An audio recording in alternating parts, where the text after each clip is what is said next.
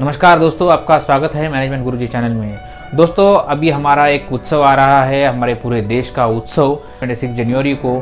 तो दोस्तों वहाँ हम बहुत फ्लैग्स वगैरह खरीदते हैं। और दोस्तों हमारी देशभक्ति भी इसी दिन के लिए होती है। आ, ऐसा मुझे लगता है।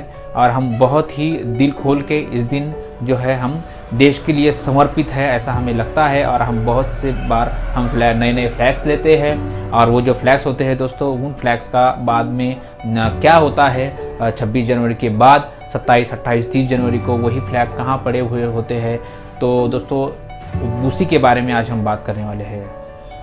दोस्तों, सबसे पहली बात यह है कि अभी बहुत से फ्लैग्स आपको मार्केट में बेचने वाले आपको मिल जाएँगे, क्योंकि पूरे साल भर तो कोई फ्लैग नहीं बेचता है, लेकिन अब 26 जनवरी है 15 अगस्त है, इन दो दिनों में हमें इंडियन फ्लैग्स बहुत ज़्यादा स्टॉल्स उसके लगाए हुए दिखते हैं। और दोस्तों, हम हम, हमें, हमारे देश के लिए बहुत प्यार है, और वो जो इंडियन फ्लैग है, उसको भी हमारे दिल में बहुत बड़ी जगह है। तो दोस्तों, इसीलिए हम इंडियन फ्लैग्स खरीदते हैं, हमारे फ्लैग्स खरीदते हैं।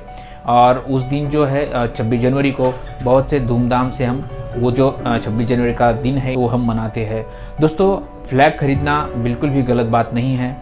फ्लैग खरीदने चाहिए, मैं नहीं खरीदना चाहिए, ऐसे बिल्कुल भी नहीं बताऊँगा आपको। लेकिन दोस्तों, हमने जो जिस दिन छब्बीस जनवरी को हम जो फ्लैग खरीदते हैं, क्या दोस्तों, हम वो जो फ्लैग है, उस फ्लैग को जो उसे न्याय देना चाहिए, या तो उस पर जो हमारा प्रेम है। क्या दोस्तों, वो प्रेम हमारा सिर्फ़ एक दिन के लिए है? सोचने वाली बात है। 26 जनवरी के बाद वही फ्लैग आपको रस्ते रस्ते पर कूड़े कचरे में आपको दिखाई देंगे। बहुत बुरा लगता है। अभी तो मेरे रोंगटे खड़े हो गए अभी। बहुत बुरा लगता है जब हमारा इंडियन फ्लैग किसी के पाँव तले आता है, किसी कचरे कुंड के कुंडी में हमें दिखाई देता है। बहुत बुरा लगता है ऐसे वक्त कि हम जो लोग हैं, हम भारत माता की जय बोलते हैं एक दिन पहले। और दूसरे दिन उसी भारत माता के फ्लैग को हम हमारे तले लेते हैं। दोस्तों, बहुत ही ज़्यादा बुरा लगता है। तो मैं आप सबको हाथ जोड़कर मैं विनती करना चाहता हूँ कि आप इंडियन फ्लैग बिल्कुल भी मत खरीदो। अगर आपको खरीदना है तो आप उसका अपमान भी मत होने दीजिए, उसका मान रखिए, वो आपके घर में लगाइए। जब तक वो ख़राब नहीं होगा, तब तक वही यूज़ कीजिए।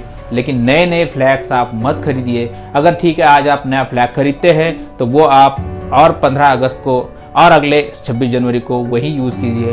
आप कहीं भी इधर उधर रास्ते के बाजू या तो कचरा कुंडी में उसे बिल्कुल भी मत डालिए। दोस्तों, जब ऐसा कुछ फ्लैग कहीं दिखाई देता है तो दिल को बहुत बुरा लगता है। और ऐसा देखने के लिए भी बहुत बुरा होता है। आप देखिए देखिए, अगर आप में भी बहुत देशभक्ति है और आप बहुत देश को मानते हैं तो आप में जब आप देखेंगे ऐसी चीज़ तो आपके दिल में ज़रूर कुछ ना कुछ दुख होगा।